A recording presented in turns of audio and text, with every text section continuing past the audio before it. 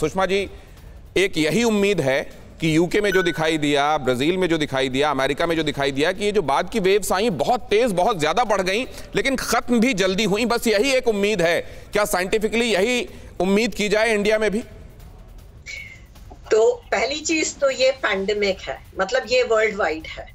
और किस कंट्री में पहली लहर आई, किस कंट्री में दूसरी लहर आई वो उससे हम सब लोगों ने सीखना चाहिए था। That is first message that I would like to give एक एक पहला मैसेज मैं देना चाहती हूँ।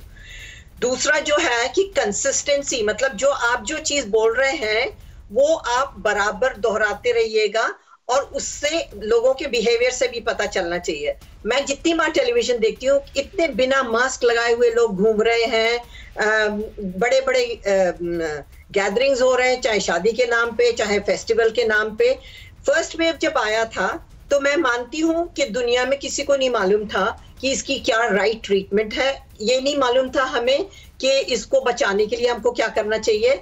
और ये भी नहीं हमारे पास में वैक्सीन भी तैयार नहीं थी। तो पहली वेव में तो सब एक ही तरह से थे। बट जब दूसरी वेव कुछ कंट्रीज़ में आई, जैसे यूके में जब सेकेंड वेव आई तो एंटिसिपेशन था। एक ये था कि आएगी सेकेंड वेव और सेकेंड वेव के लिए तैयार थे हम लोग।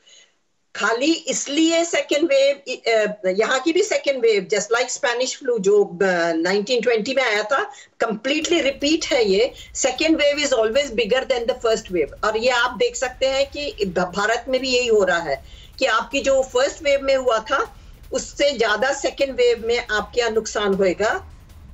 जो जाने जाती हैं, इसमें बीमार लोग होते हैं, हर एज के लोग सफ़र करते हैं।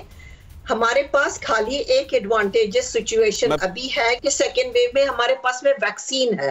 सेकेंड वेव में हमारे पास वैक्सीन है ये एक बड़ी बात है। आपको बीच में रोक रहा हूँ लेकिन एक बात मैं आपसे अभी इस वक्त जान लेना चाहता हूँ बाकी बातें मैं फिर आपके पास आके करूँगा। क्या ये जो बाद की लहर है ये तेज़ी से बढ़ी ज़रूर है लेकिन खत्म जल्दी होगी? ये अंदाज़ा लगाया जा सकता है बाकी देशों का हाल देखकर? बिल्कुल नहीं क्योंकि हमारी फ़र्स्ट वेव में भी तीन महीना लॉकडाउन था। हमारी सेकेंड वेव में भी तीन महीना लॉकडाउन था। हम 9 जनवरी से हमारा लॉकडाउन शुरू हुआ था जो इस मंडे को खत्म हुआ है जो 11 जी और आपकी ये बात बहुत बड़ी ताकीद है हमारे लिए जो हिंदुस्तान में रह रहे हैं। आप भी हमारी ही हैं, हिंदुस्तान की हैं, लेकिन इस समय यूके में हैं और आप यूके का हाल बता रही हैं। लेकिन हम सबके लिए बहुत बड़ी ताकीद है। और हमारे साथ एक और विशेषज्ञ जुड़ गए हैं डॉक्टर अनिल पांडे, ज़रा उनके पास भी मैं चला जाऊँ। डॉक्टर अनिल पांडे, मैं वैक्सीनेशन की तरफ़ जाना चाह रहा हूँ। क्योंकि एक बात अभी सुषमा जी ने कही कि इस बार बस यही फ़र्क है कि हमारे हाथ में एक हथियार है, वैक्सीनेशन। लेकिन क्या इसको लेकर जो स्ट्रैटेजी होनी चाहिए? पहले तो मैं ये समझना चाहता हूँ, वैक्सीनेशन का मकसद क्या था हमारा? एक इंडिविजुअल में इम्यूनिटी पैदा करना या हर्ड इम्यूनिटी पैदा करना?